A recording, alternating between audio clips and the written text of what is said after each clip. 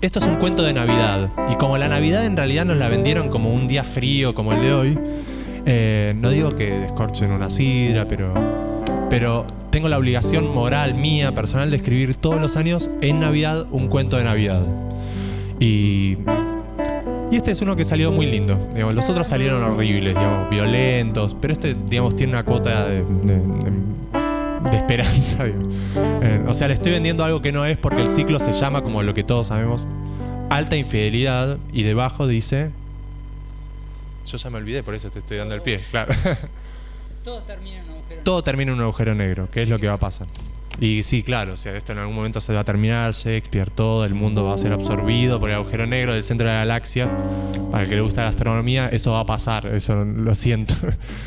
Eh, todos volvemos al, a la partícula inicial. ¿no? El agujero negro, todo, el universo se cae sobre sí mismo. Por ahora tomemos Larsen, ¿viste? O sea, que, que es lo que hay, no está mal.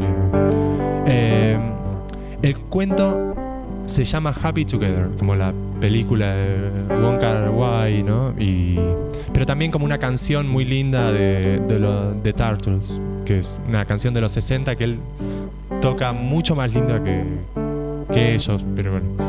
No me deja lavarlo después de que le dije pelado toda una semana, ¿viste? Y dice así.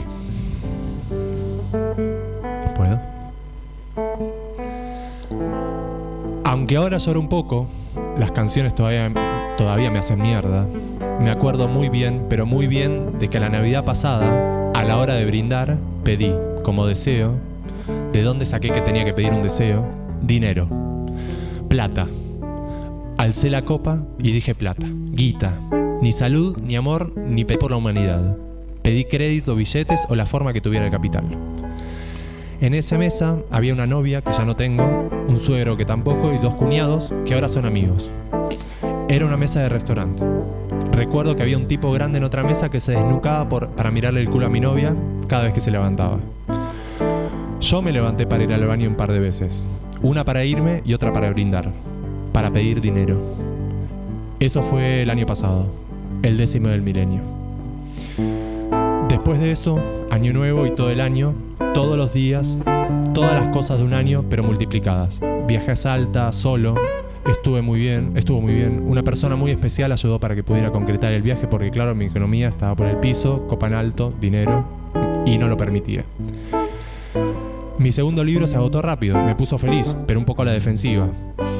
Creo que mi reacción natural a todas las cosas es una defensa. No me gusta eso, pero así pasa. En el mes de marzo, dos cosas el mismo día.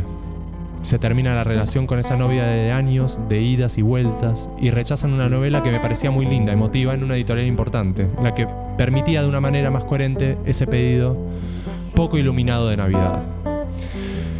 Me habían llamado para reunirme en la casa central. Pensé que me dirían que sí, que era mi momento, que era solo para decir, pero era solo para decirme, la editora, que no le había gustado nada, pero nada de nada, la novela que le dejé. Se llamaba En verdad quiero verte, pero llevará mucho tiempo. Todavía se llama así y así seguirá. Me volví con el texto impreso a mi departamento, ya sin las cosas de mi novia. Me anoté en el gimnasio esa tarde y me bajé un programa para jugar al ajedrez. También llamé a una chica, pero solo para cubrir el bache. Fui a la universidad, pero me fue muy mal ese cuatrimestre. Tuve conjuntivitis, problemas estomacales varios, problemas de espalda que duraron meses y mucho dolor de muelas. En algún momento del año se reeditó el segundo libro. Eso fue muy bueno. Justo antes conocí a una chica que era muy interesante pero muy nerviosa. A mitad de nuestra relación me regaló un jamón cocido entero. Me duró mucho también. Parecía que seríamos, pare- parecía que seríamos novios, pero no pasó de preguntarnos qué queríamos. Trabajé mucho, pero ya habíamos empezado, ya había empezado a sentir que era un lugar en el que no me querían. Me sobran los motivos, pero cada cual tendrá los suyos. Lo que hice fue lo de siempre, me concentré en los libros. Siempre había alguna maravilla que te volvía el alma al cuerpo. El chico de 15 años que se enganchaba con algo en la terraza de su casa. Y volví también a canciones viejas, no solo mías, sino anteriores a mí. Happy Together de los Turtles, por ejemplo. A mitad de año y más, mi madre estuvo un poco mal. tuvo que hacer un tuvo que hacer reposo. Nos asustamos todos. Nunca me había asustado tanto, de hecho, con nada. Así que pasé algo de tiempo en la casa de mis padres. Arreglé un poco el jardín y pensaba hacerlo más, y de hecho lo hice. Pero ese resto fue con mi padre como socio. A poco de empezar, lo vi a mis espaldas haciendo cosas con una pala. Así que en silencio lo terminamos juntos. Al final, tomamos agua, transpirados, tirados contra una pared, pasándonos la botella. Quedó bien, me dijo. Sí, muy bien, le dije. Me levanté, le puse la mano y la tomó, tiré y se levantó. Después miramos un partido del Barcelona juntos. También durante un largo durante un tiempo largo anduve sintiendo a cada paso que necesitaba terapia. Y sigo necesitándola, pero algo pasó, no sé muy bien, en uno de esos pasos. Ni siquiera sé si fue de repente o fue un desborde, pero es necesario. Bueno, suena de lo más horrible, pero de un segundo a otro mis cosas pasaron a ser mis cosas y las de los demás de los demás. Tan simple como eso. 32 años ya, pasado agosto. Seguro que no había sido tan simple. 32 años y una Navidad en la que pedí dinero. ¿A quién? Qué bobazo. Pero ahora las cosas de los demás y las mías no eran en el mundo una sola cosa.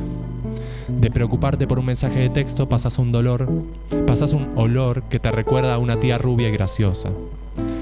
Y llena de palabras de aliento a las personas que quería. Y sin pensar, pones una canción y, y sonreís como loco, solo acordándote de sus cosas. Y una cosa más, de repente con eso no quise estar con nadie, o sí, pero no por, no andar solo. Eso ya hacía eso ya hacia fin de año, por octubre y más allá. Anduve mal por otras cosas, justamente por las mías, pero las puse ahí, en el baño y frente al espejo que se sequen. Estuvo buenísimo. Eh, escribí algo, no mucho, pero desde un lugar que no conocía. Un, compañero escritor de la librería me había dicho, cuando le pregunté si tenía más poemas de esos que me gustaban, me respondió, más o menos, ahora estoy en otra cosa. Como que a lo otro ya le conozco el truco. Salen si quiero, dijo. Salen, pero no me llenan. Esas fueron sus palabras, o por ahí. Eso me había pasado todo el año. Por eso, una nueva sensación con la página y el teclado era interesante, intensa. Saber que lo otro te funciona, pero vas por algo más. Como antes, como, cuando no contabas que escribías. Eso es intenso para mí.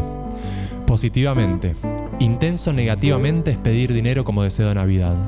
Eso seguía latiendo. No había limpiado aquello todavía. Entre tanto vi, por décima vez, el día de la marmota. Y le encontré una nueva mirada. Era justo lo que necesitaba. Ver cosas que no había visto en cosas que ya había visto tantas veces. En diciembre fui a La Rioja, una provincia de la que desconfiaba, pero Fernando, porteño, pero ya de La Rioja, y Andrea, porteña, todavía porteña, se encargaron de que fuera, de que me sorprenda y de que las cosas sigan cambiando la mirada.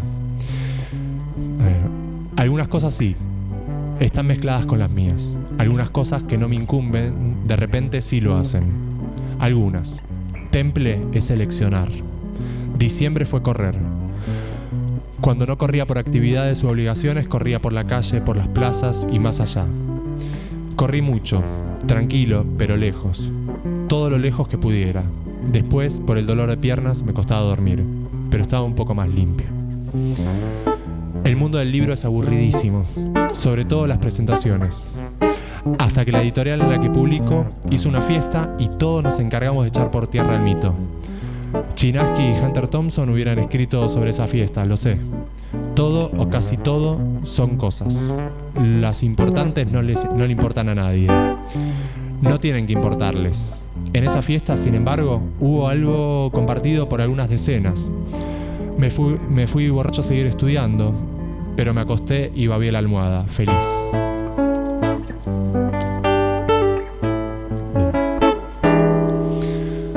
Hace poco nomás, una chica me aceptó un helado. Finalmente, porque se lo había ofrecido durante varios meses.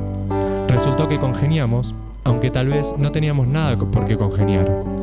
Ella la academia, yo lo otro. Ella bastante preciosa, yo cara de empleado. Yo diálogo personal y, confortante, y confrontante con Dios. Ella totalmente la iglesia. Ella siempre desbordada de palabras, amor por las palabras, ideas, yo un par de ojos y un oído mal afinado. Cuando ella exageraba, yo me daba cuenta, y ella se daba cuenta de que yo me daba cuenta. Y lo mismo ella, y nos besamos. Y fue un beso que debería tener premio en alguna institución. Así fue durante varios días, unos besos premio. Después una confusión, después otra. Pero a nuestro favor, volvimos a los besos premio. Ya con algo más de honestidad, pero ya con algo más de honestidad. Más desnudos, más las personas que éramos, poco y nada perfectas. Y un día antes de Navidad se fue a su ciudad a pasar enero con los suyos. Yo ayer pasé la, la- fiesta con los míos. Estuvieron mis hermanos, mi hermana, mis cuñados, mi madre y mi sobrino. Jugué con mi sobrino, abracé a mi madre, hablé con todos. Comimos un asado fabuloso. Hubo un accidente. Mi madre se cayó al piso con platos y se lastimó la rodilla. Me partió el alma verla tirada en el piso tomándose la rodilla. Me quedé con ella, agachado. Lloré internamente como ella, seguro lloraba internamente cuando nos pasaba algo.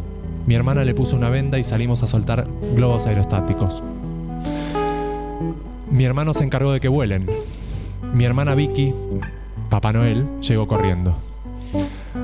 Pará, pará. ¿Para qué hay que pedir un deseo? ¿Dónde? preguntó mi hermano con el globo, con el globo encendido antes de soltarlo. Boludo, hay que tocar el globo y pedir un deseo. Es así, esto, lo del globo es así. Lo tocó todo el mundo. Parecían convencidos de que sucedería algo. Me acerqué para tocarlo. Se me ocurrieron 200 cosas, pero no lo toqué. Luis, ¿no lo tocaste? No, me olvidé. Y eso fue un poco todo, pero limpio por fin. Eso. La realidad es que volví a pedir dinero.